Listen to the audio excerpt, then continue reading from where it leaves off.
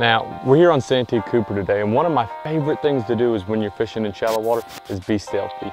It's the springtime, fish are starting to move up shallow. There's a couple fish that are starting to get on the bed. And what we're doing is we're just creeping through these backwaters and we're just trying to be as stealthy as possible. We're just flipping a little Neko around, just trying to really pick these fish off. And what I like to do is I like to control the power of my power poles and that way they don't make as much noise when they're driving into a hard bottom. Because usually when you're in these areas, the fish are bedding around hard bottom and those power poles, when they're at a high speed, they'll make a lot of noise driving in the bottom. You can hear them when they're grinding in that sand. So what I love to do is turn the speed down.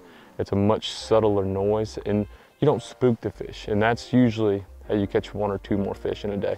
Controlling the speed is simple as just downloading the C-Monster app on your phone and controlling the speed of your power poles. It's just the ease of this app. It finds your power poles because all the power poles have Bluetooth. So what it does is once it finds your two power pole pumps, you just simply connect the pumps. And now that they're connected, we can go to speed and all you do is just go to their menu, go to system configurations, and you can do any of, best with any of the settings, but what I like to do is go to remote control max settings, and then scroll down to any switch you want to, and I, I mainly use the foot switch is what I'm using, whether I have it on 28%, you can take it back up to 75% if you really want to speed things up.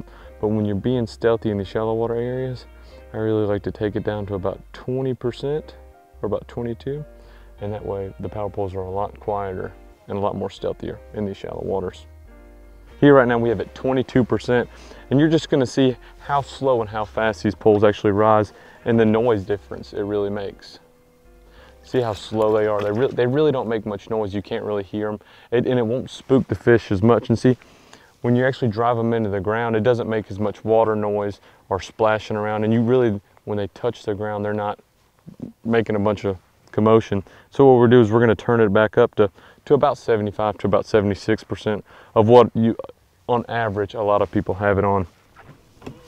And you can hear how much louder the pumps are, how much more noise and racket that makes. And and when you put them back down, when you're really around the hard bottom or some fish, it makes a lot of noise. Using all the tools on your boat and utilizing their, their max potential is the best thing that you can do to maximize your effort of, of catching more fish. And when you utilize all the tools on the boat, that's when everything comes together.